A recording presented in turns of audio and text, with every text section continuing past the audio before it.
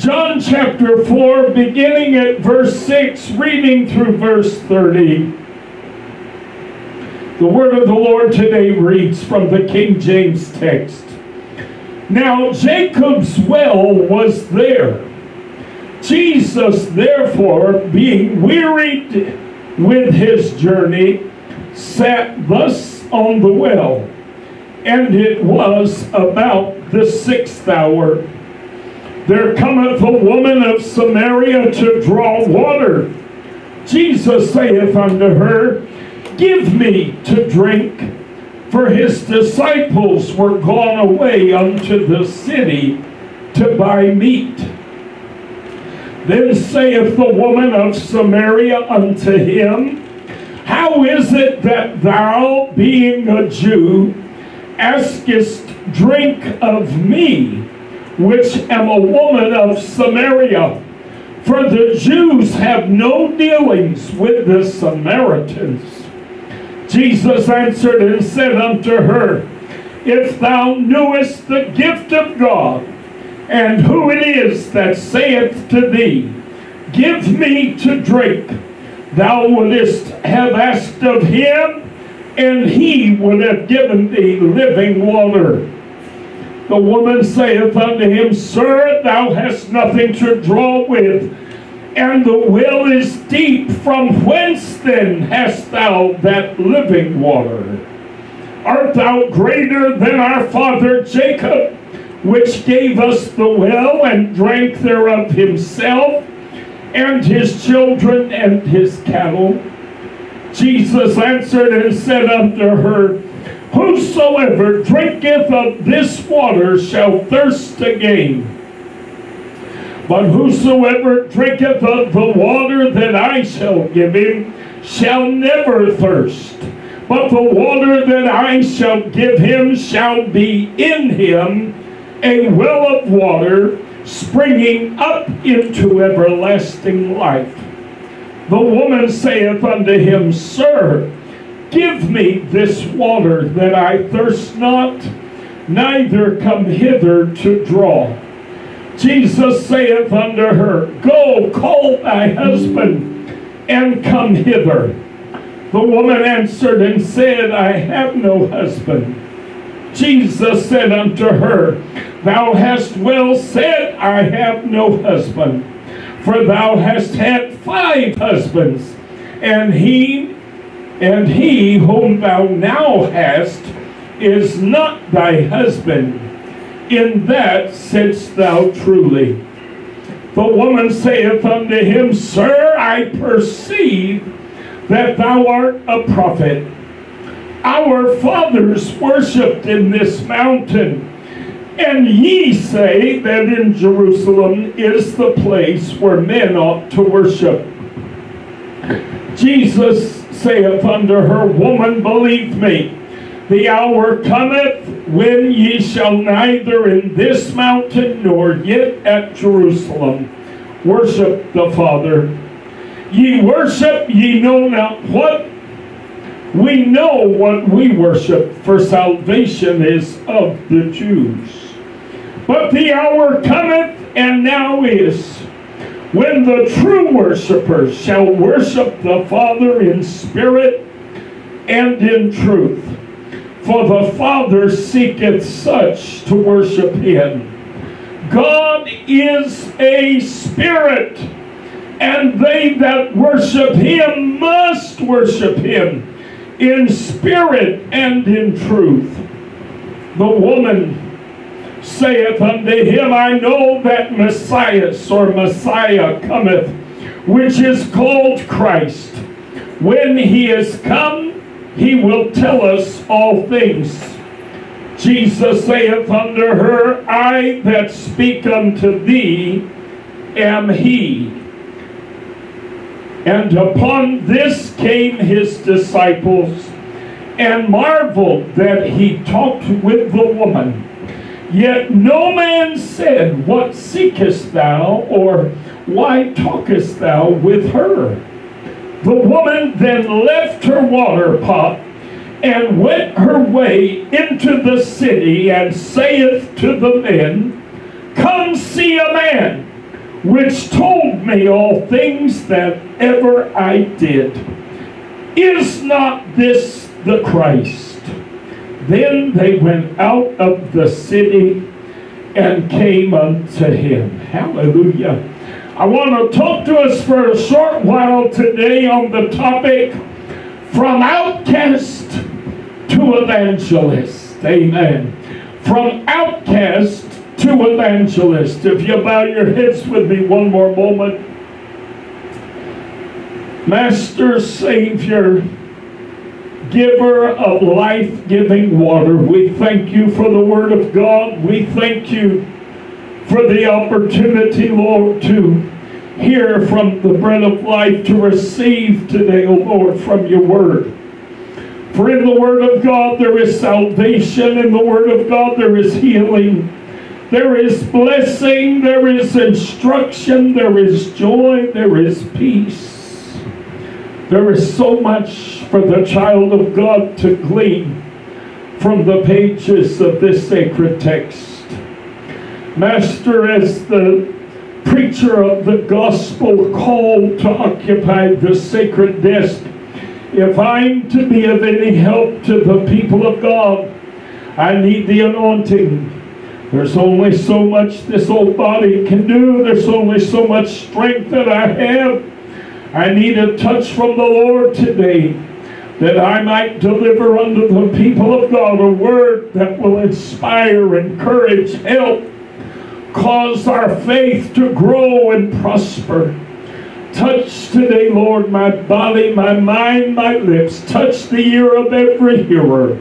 Allow us to receive with gladness the engrafted Word of God.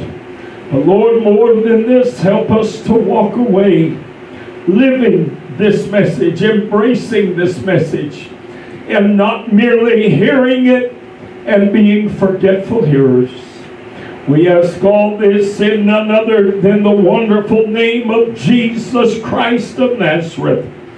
Amen. Praise God and amen.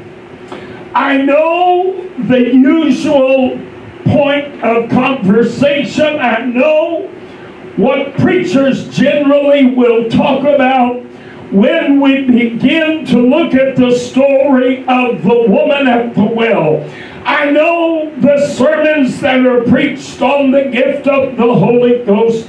I know the sermons that are preached on the acceptance of the Lord and his affirmation of this woman. I know all the high points, and I could preach today a message that goes down our text and kind of hits all the high notes.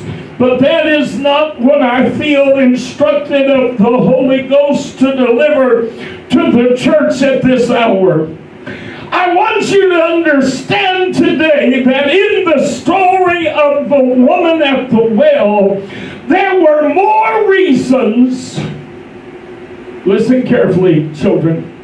There were more reasons for Jesus to have simply ignored this woman than there were for him to be bothered with conversing with her and talking with her. This poor woman had more going against her in so many ways than she had going for her. First of all, you have to understand the patriarchal system of the Jewish people. Men did not make a habit of initiating conversation with women, uh, strange women, women they didn't know in particular that was considered to be a no-no. That was something that you just don't do. It could be seen as uh, something that is off color and not quite proper and right. So the fact that she was a woman was strike number one. Number two, she was a Samaritan woman. She was the wrong nationality. Oh, my heavens. No, the Samaritans and the Jews did not get along well. They had very different opinions, they had very different views, and they had a different religion. You'll notice Jesus said to her during the course of their conversation, He said, Ye worship ye know not what. We know what we worship, for salvation is of the Jews. In other words, lady, got news for you. You're embracing the wrong religion. Oh, my Lord, have mercy. You're in the wrong faith. You're not in the right organization. You're not in the right denomination. You're not in the right belief system. I got news for you today, children. There are a lot of people that call themselves Christians today. There are a lot of people that call themselves believers today. There are a lot of people that this Sunday went to church, but that doesn't mean they're in the right religion. That doesn't mean they're in the right way, that they're walking the right way, that they're believing the right things. Oh, this lady was a woman. She was a Samaritan. She was of the wrong religion. My goodness, have mercy. There was less going for her than there was going for her. But I want to tell you something. My Jesus has a way of tapping into resources that others don't even realize exist. Hallelujah. I want to tell you, my Jesus has a way of knowing things about us that may seem trivial and small and unconsequential but what he knows makes all the difference. And you might say today, oh, you're talking about him knowing that her current live-in man was not her husband. That's what the preacher must be talking about. Oh, no, no, no, no, no. No, I'll get there, but that's not what I'm talking about. No, he knew something else about this little lady. He knew something about her that was going to help the cause. He knew something about her that was going to help him do the work that he had come to do. I want to tell you something. You may look at a bunch of LGBT people and think, that God can't use them and they have no place in the kingdom. And you think you know everything you know to, uh, uh, about them that there is to know. But I'm here to tell you today, my Jesus sees something in us that you don't see. Hallelujah. Oh, I want to tell you, God is able to look beyond the externals and look upon the heart. Yes. And he knows he can look and say, now here's the people I can use. Hallelujah. I want to tell you today, the church of Jesus Christ is so far off track. It has gone so far off the rails in this modern time that it isn't even funny. We have preachers getting up in pulpits telling their congregations that you cannot possibly be a Christian and belong to this political party rather than this political party over here. They're telling their people that God has called the most wicked and ungodly heathens among men to be a leader in America at this time in order to achieve his righteous ends. You know what the Holy Ghost spoke to me? Now, I told you, for those of you who've been watching our Wednesday night Bible study, I told you, you got to understand prophetic ministry versus a simple prophecy. What I'm about to tell you, I guarantee you, is prophetic meaning it is thus saith the Lord. The Spirit of the Lord spoke to me. I was in my car driving down here to Huntsville to do some work on our new space. And the Spirit of the Lord spoke to me just as plain as day and said to me, Are there so few righteous that I should have to use the ungodly and the wicked to do my ends. said, Are there so few godly among you that I should have to anoint a godless, unbelieving, lying deceiver to do that which I would have him to do?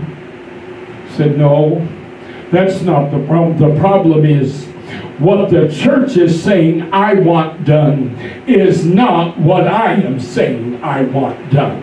Mm-hmm. You see, the church loves to put words in God's mouth. I'm going to tell you something, folks. People are going to answer to God in the judgment for that habit. You better be real stinking careful about putting words in God's mouth.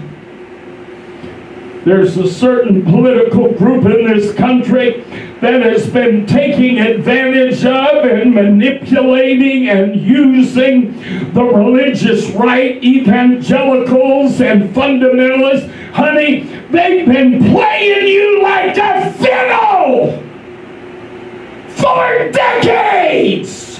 And you're too dumb to see it.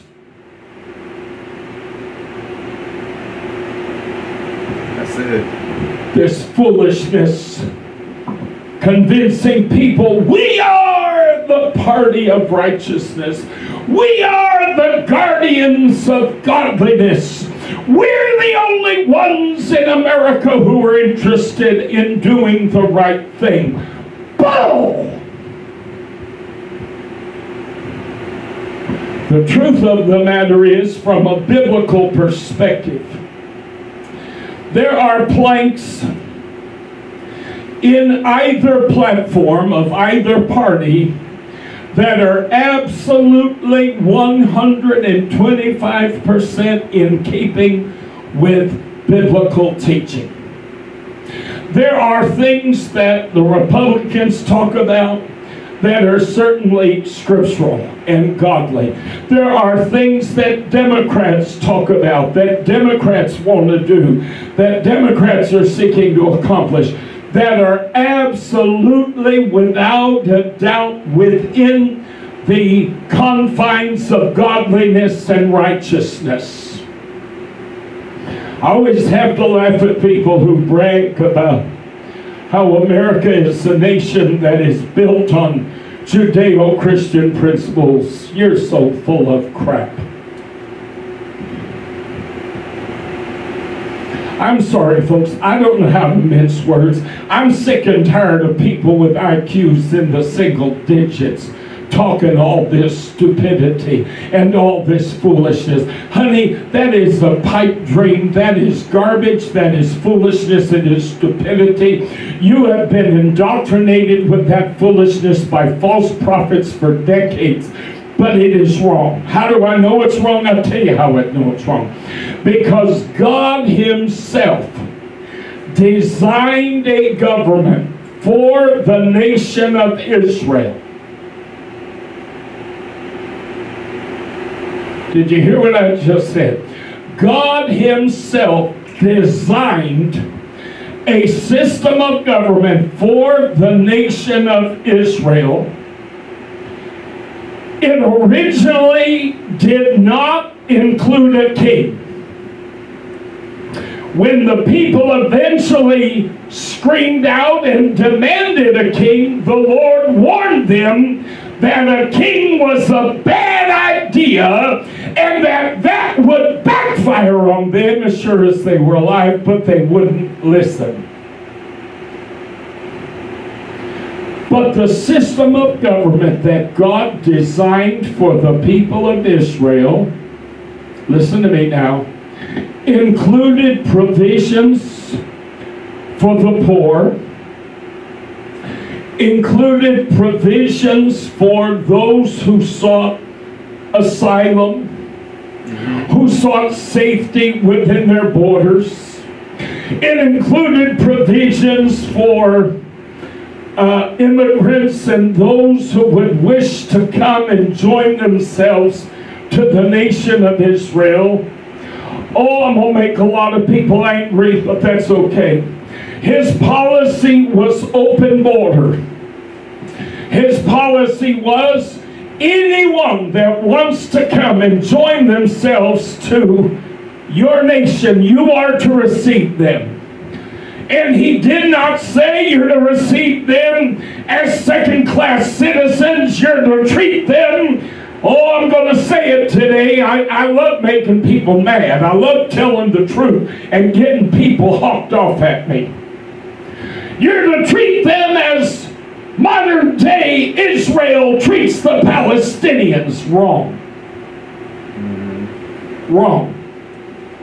Wrong the system of government that God delivered to Moses at Mount Sinai said that anyone who existed within your borders who desired to be part of your nation was to be received, listen to me children, this is the word of God, was to be received as native born. They were to be treated the same identical way as anyone native born. There are so many provisions that God made in His government that He personally designed for the nation of Israel. There are so many provisions in that government that America would sooner shoot itself in the head than embrace. So don't tell me how we are a Judeo-Christian nation built up and based on the principles set forth by God in His Word because you're a liar and you're full of it. Mm. You want to know what God would expect of a nation? Study what He designed the government to look like for Israel. That'll tell you how God expects the nation to behave. I remember years ago I was talking to an uncle by marriage. I used to hold this man in high esteem. I used to think very highly of him. My opinion, I'm sad to say, has changed dramatically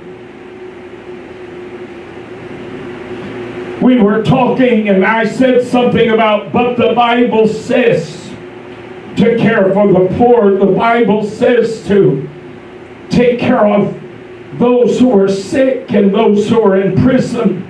The Word of God teaches that we're to treat uh, refugees and we're to treat those who come to our nation as though they were native born. And my uncle said to me, that's at a personal level. That's not, that doesn't have anything to do with the way a government should conduct itself. Oh, wait a minute. I thought your big selling point was, Mr. Republican, that your religion informs your politics. But when it's convenient, all of a sudden, no, that's at a personal level. That's not anything that's to be embraced politically. That's not anything that's to be employed as part of a uh, the policies of a government. Really? Study, study the laws that God gave Moses on Mount Sinai the secular laws he gave Moses on Mount Sinai that were meant to govern the nation of Israel at a secular level. Look at those laws and tell me, mister, how close your party's platform is to lining up with those laws that God Himself established at Mount Sinai. Say, Pastor, do you really mean to get up today and preach politics? No, I do not. There's a method to my madness. There's a reason that I'm going here because I don't always go here. I have no interest in going here. Quite frankly, this subject matter makes me just about want to retch. I'd really rather stay away from it if I could help it. But I've got to make a point today. America is on the brink of civil war. I've been prophesying this now for decades. I've been saying it was coming. The reason that it is there, my friend, is because a group of people have allowed themselves to be led astray. A group of people have allowed themselves. Adolf Hitler said you can make people see heaven as hell if you know how to use propaganda right. I'm going to tell you, there is a political party in this country that has been putting a certain spin on every single cotton picking thing that goes on. Everything. They put a negative spin on it. They put a fearful spin on it. And guess who's fallen for it, hook, line, and sinker? the world, the unbeliever, those who don't know God? No. No. That would be lovely. No, it's the people over here who claim to know God, who claim to be believers in Jesus Christ, who claim to be more than conquerors through Christ, who claim they can do all things through Christ which strengtheneth them, who claim that there is no fear in love, who claim that they embrace the salvation offered by God on the cross of Calvary through the provision of the man Jesus Christ. Those are the people who buy into every single one of these idiotic, fear inducing, anger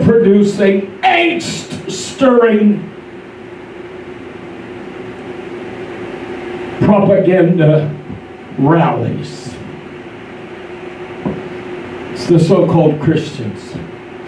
The church is standing in the world is falling so fast right now that our heads are spinning.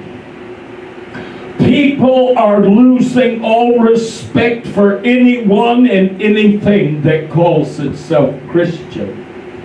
Most churches this Sunday will have spent more time preaching fear and anger and angst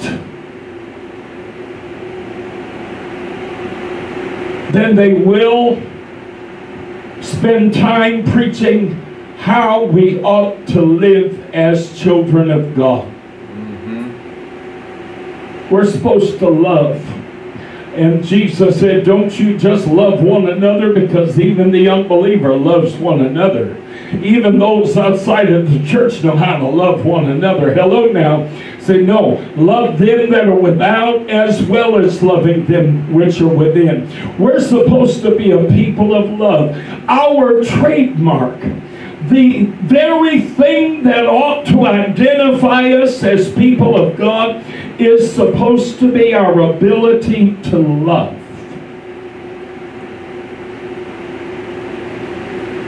But I've been to church meetings. We went to a camp meeting one time in Texas.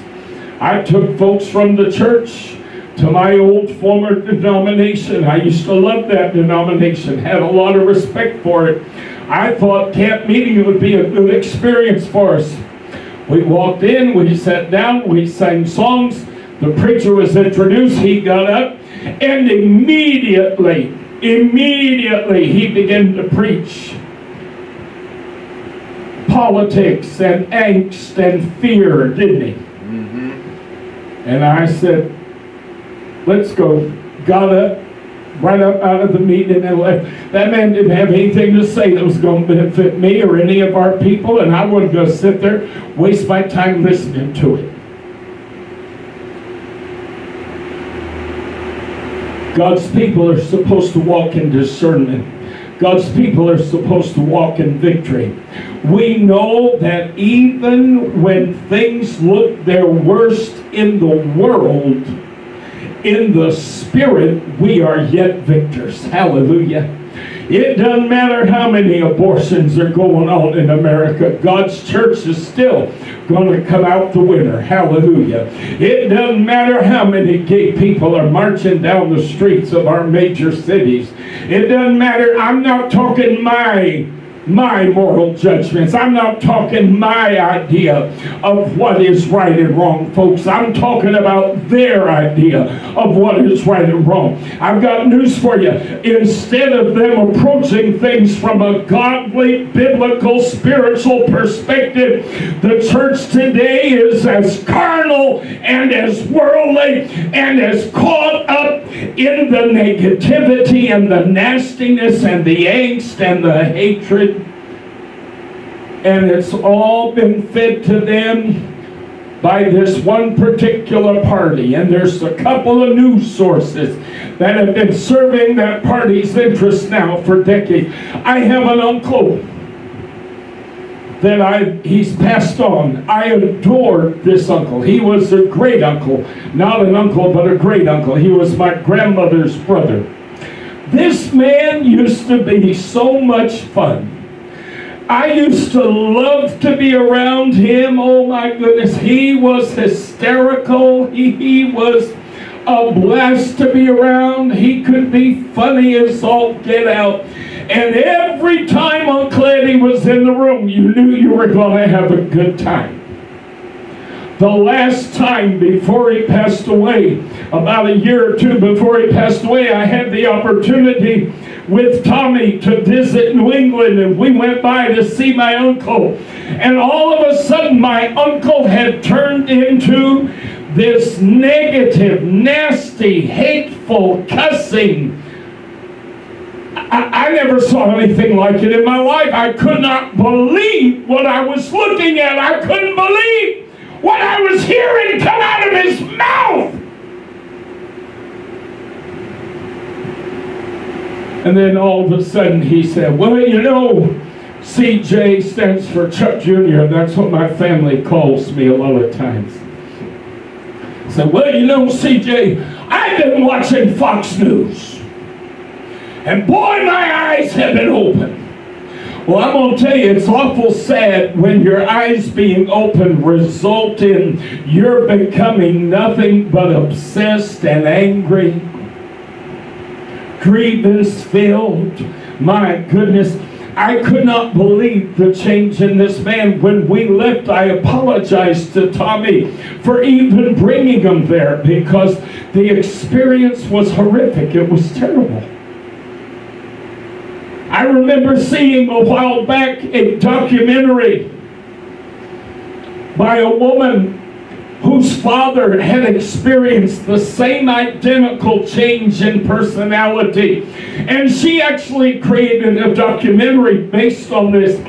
And it was for the same identical reason. Her father had begun to watch Fox News.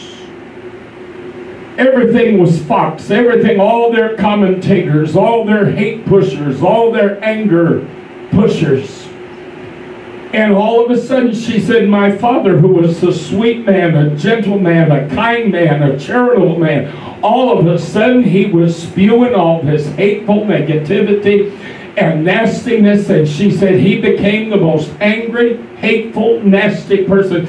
I know a preacher's wife that was one of my favorite pastor's wives of all time. Oh, I love this lady. She had the most wonderful spirit, same thing. I watched her on Facebook in recent years and she began to post one thing after another after another that was so angry and so hateful and so nasty and so negative. And then, of course, she spewed the old Fox News Republican line. You can't possibly be a Christian and be a Democrat.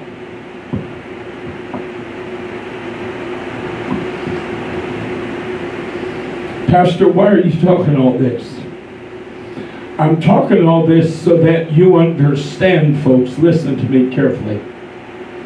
We need revival in America, and we need it bad, and we need it fast, and we need it now. We needed it yesterday. The church has got to get back on track. We have got to get out of our angst filled bitter uh, political thinking, and we've got to get back to spiritual thinking. The Word of God said, For we wrestle not against flesh and blood, but against principalities and powers, against the rulers of the darkness of this world, against spiritual wickedness in high places. Our enemy is not gay people, our enemy is not drunk people, our enemy is not prostitutes, our enemy is not women getting abortions. My God, have mercy. Our enemy is unbelief. What is going to drag souls into a devil's hell are not the issues that you're focused on, but the issue of unbelief. We're supposed to be preaching, He that believeth on me shall never die. Hallelujah to God. We're supposed to be preaching the good news of the gospel of Jesus Christ. And it is good news. Got news for you. If the preacher you watch on TV isn't preaching good news, honey, he's not preaching the gospel. Amen. I don't know what he's preaching, but he's not preaching the gospel. Gospel means good news. There is more opportunity today for work to be done by the church in the world in which we live than there ever has been. And do you know why there is more opportunity today for the church to do a work? Because the church has screwed it up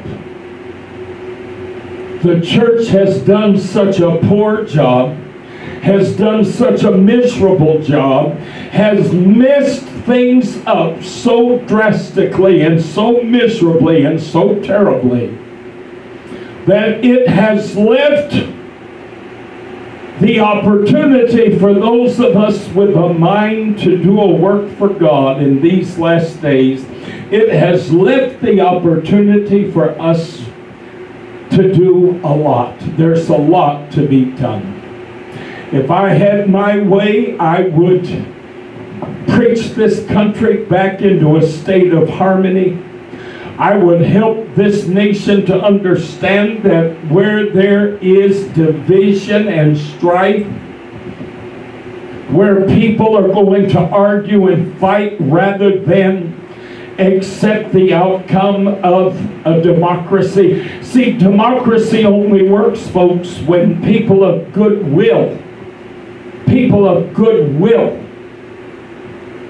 accept the outcome. There have been many elections in my 57, almost 58 years. There have been many, many elections, statewide, national, so on and so forth that I have been very, very unhappy with the outcome of. But never did I ever for a moment think to start preaching we need to take up arms and take our country back and do it the way that I think it ought to be done. But you see, these fools have convinced themselves, Tommy, that they're the righteous ones, that every thought they have is right that everything they want is right. And that the other people are wicked and ungodly and they're on Satan's payroll. And by demonizing the other and elevating yourself, you put yourself in a very, very dangerous place. Do you know how much evil has been visited upon our world in the last two centuries by people who believe themselves to be right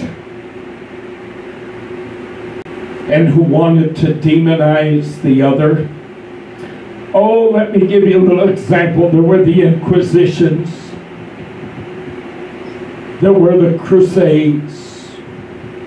Millions upon millions upon millions of human beings were slaughtered in the name of Christ because this bunch of folks over here convince themselves that they're in the right, bless God, and those people over there are wicked. Jews were slaughtered, they were tortured, they were boiled in oil. Muslims were tortured and killed by the million. We're not talking a few hundred. We're talking about over the course of centuries. This same policy carried for centuries. And millions were butchered and millions were murdered and tortured. Folks, that's where we're headed back to if we're not careful. I'm going to tell you a little secret. What Jesus saw in this woman went beyond her having been married several times and now living with a man that she was not married to. Now, let me help you understand something. This is where I, it really breaks my heart, but in most sermons that I've ever heard, I've never heard anyone explain this the way it ought to be explained. Marriage in biblical times had nothing in the world to do with going down to City Hall and getting a marriage license and then finding a rabbi or finding a priest to perform a ceremony. That is not how marriage worked in biblical times.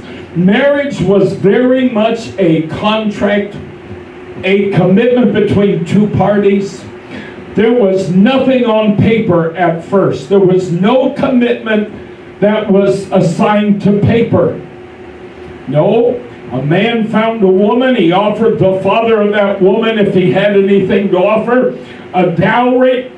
If the father accepted the dowry, that young lady became the possession, became the, the spouse of this man. They then would go in private somewhere and they would consummate their marriage. They might have a wedding uh, reception as such. They might have a wedding celebration. Had nothing to do with a wedding ceremony. There is no wedding ceremony anywhere in the entire Bible. No wedding ceremony is prescribed by God. No, the Roman Catholic Church turned marriage into a sacrament. They're the ones who made wedding, uh, marriage this big thing, okay? They're the ones that turned it into a big religious issue. It was not that way from the beginning. When Jesus looked at this woman and said, You've been married five times, but the guy you're with now you're not married to. Let me tell you something. He was literally exposing, listen to me carefully, not her legal status with the man she was with now, her emotional status. He was tapping into her thinking. He knew how she felt about the man she now was with. Because marriage was a commitment between two people. She was not committed to that man. He said, You're with him, but you're not committed to him. You're not married to him. Do you hear what I'm telling you now? Oh, let me tell you, that situation then was not at all like we would call today, quote unquote, living in sin. You know, living together but not having the license. No, no, no, no, no. They were living together, but she was no more committed to him than she was committed to anything. She probably was tired of marriage after five husbands and figured, you know what, I'm sick and tired of giving everything I've got to one man and being fully committed to one man and devoted to one man. And, and in the end, it never really pays off and never works out the way I'd like it to work out. I'm tired of this mess. So the next guy she found, she approached him with a very different mindset, with a very different thought process. And Jesus knew that mindset. He knew what she was thinking. He knew what she was feeling. He knew how she looked at the man that she was now in a relationship with. That is what was so powerful about the Lord's words to her concerning her current living situation. That's what made it so powerful. How could this man possibly know what's in my heart? How could he possibly know what's going on in my head? But you know, it's funny. Even people who aren't always doing everything just right can have a mind and a heart that's soft toward God. This little lady looked at the Lord, and after he gave her this revelation, she said, You know, we believe Messiah's coming.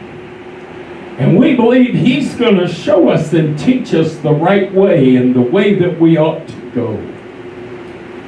Oh, hallelujah. Lady, you may not be the godliest thing in town. You may not be the most righteous thing in town. You may not be the greatest saint in town.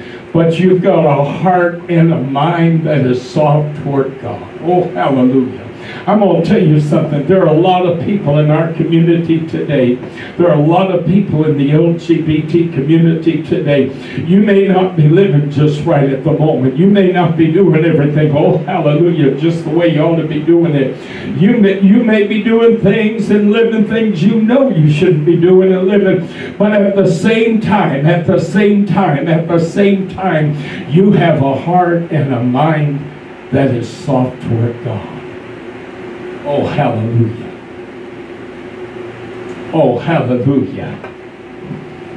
And I'm sitting here to tell you today God can turn the outcast into an evangelist. He can take someone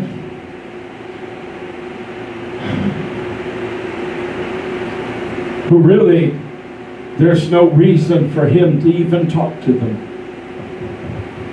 There's more wrong with them than there is right. And he can turn them into someone who's spreading the good news about him. Hallelujah. Oh, I want to tell you today what the Lord saw in this little lady wasn't about her marital status. No, what the Lord saw in this little lady was this is somebody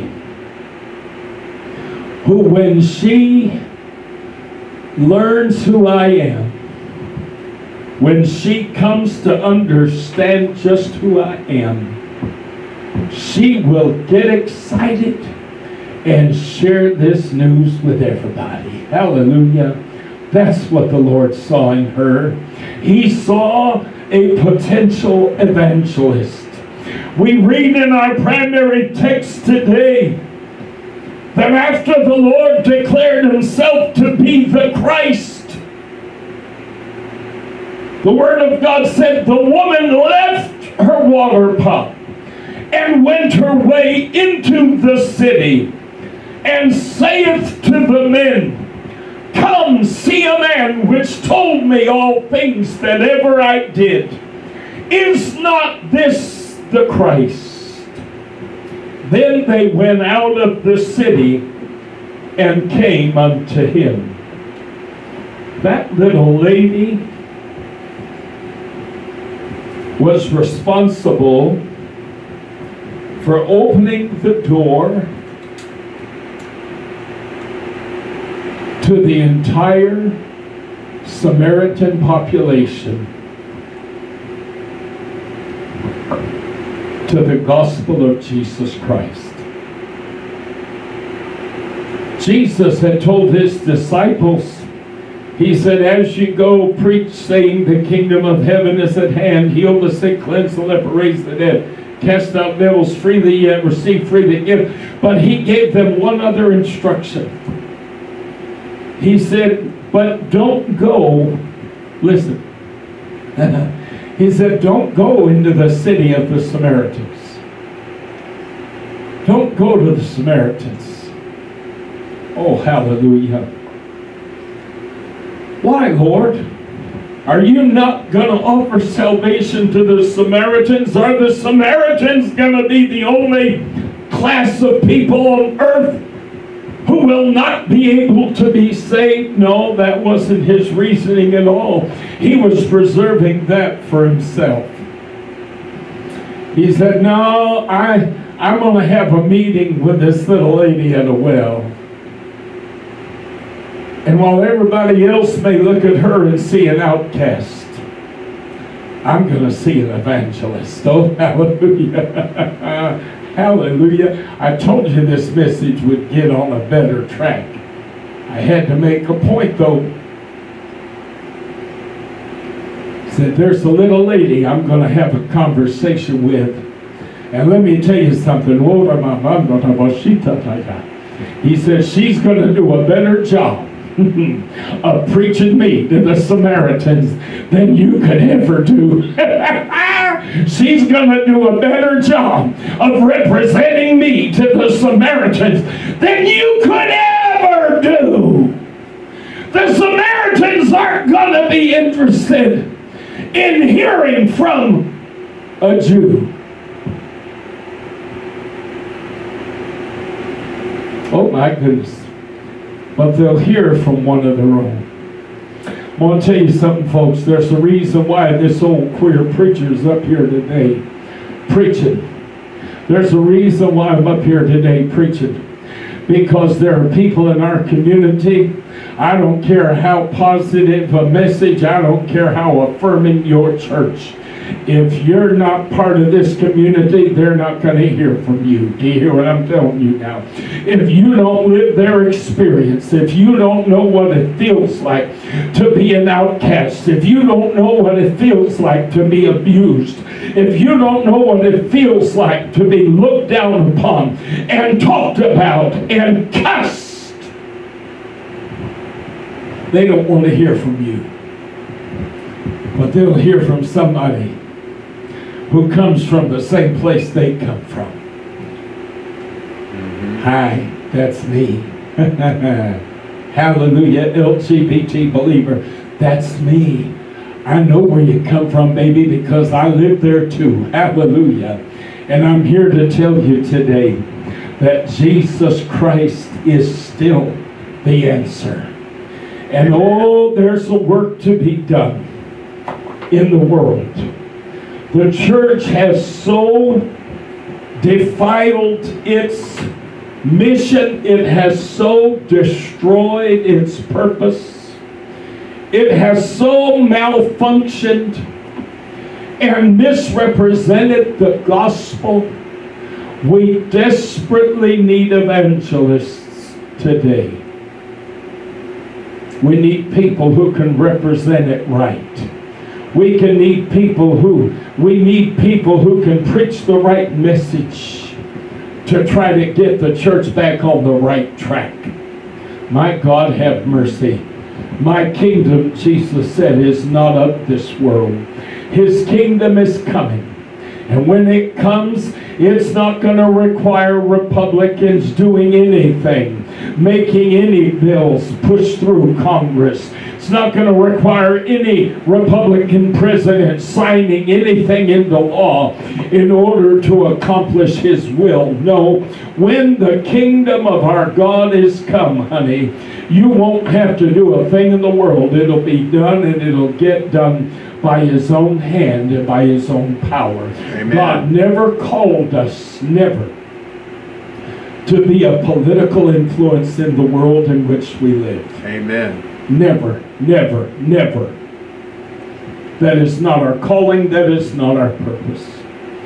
He called us to preach the good news of the gospel. He called us to declare the messiahship of Jesus the Christ. He called us to lead men to a place of repentance at the foot of the cross of Calvary. Folks, there's so much opportunity today for us if we have a mind to do right and to do the right thing and to stay on track and to do a spiritual mission. And I'm here to tell you today, no matter how much of an outcast you may be, no matter how much of an outcast you may feel. The truth of the matter today is this. Our God is able to turn you from an outcast to an evangelist. Amen.